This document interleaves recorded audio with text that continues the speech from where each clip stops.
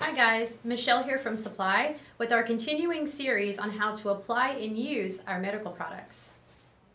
I'm here from Aspen Medical Products to explain the differences between the 631 uh, Horizon and the 637 Horizon. Um, we first want to ask ourselves, why do we need a back brace, right? Well, we're ordering a back brace because we want to relieve our pain. Um, so how does that brace work? So for me, it's easy to, to kind of understand what happens to our spinal muscles um, when they start to become fatigued and spasm.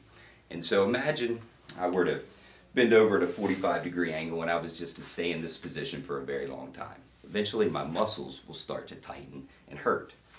Now imagine I had a, a chair that I could rest my hands on to support some of that load. So the back brace is that chair. So the brace is designed to increase trunk stability in a small amount to help you get back to your activities of daily living that normally cause pain. So I'm going to run through the differences in the braces and then we will size the brace and fit the brace to a patient. So the 631 and the 637 will look very similar.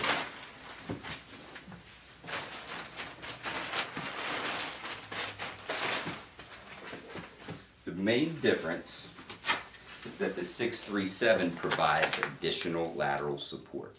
So why would you need that?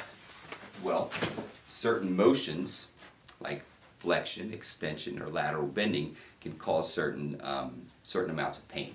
So the 637 is going to provide more support, more control, a more controlled environment for your body to heal than the 631. But let's say that we were a smaller patient, um, or we didn't have a lot of pain when we went side to side and we wanted to control more flexion and extension, that's when a 631 would be appropriate.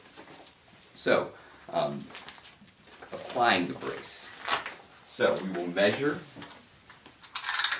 from in, in between our belly button and our hip, and we're going to just measure her waist to determine what size we have. So once we have that measurement, we will take our instructions for use and we will determine what size we need to apply the brace. So once we have that, I will show you how to uh, put the brace on and take it off.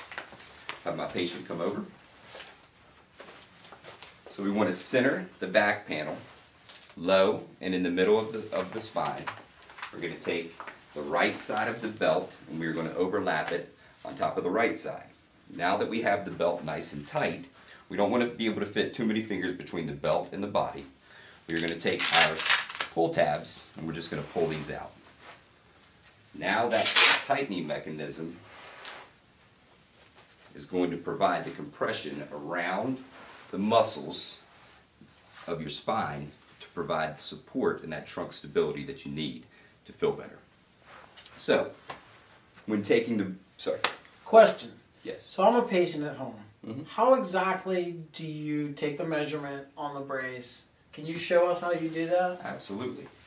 So you will see that there are embroidered numbers here on the brace. One, two, three, and four is down here, right? So to make the brace smaller, I'm going to take the belt and I'm going to overlap the belt. So there are little plastic teeth that will grab that Velcro.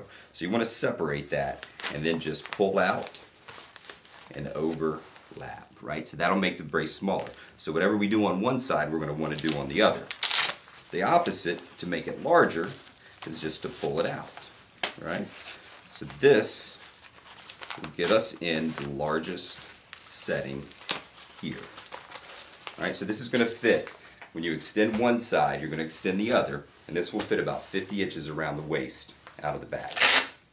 Get your pull tab back here, pull the brace slightly, and that will disengage this tightening mechanism in the back. So this is the 631 and 637 by Aspen Medical. If you have any comments, please comment in the video below and please subscribe to our channel if you like this video. Thank you. Thanks for following. And as always, if you have any questions or concerns, shoot us an email at cs at supplypt.com or give us a call at 1-844-505-8144 Monday through Friday between the hours of 8 a.m. and 4 p.m. Eastern Time.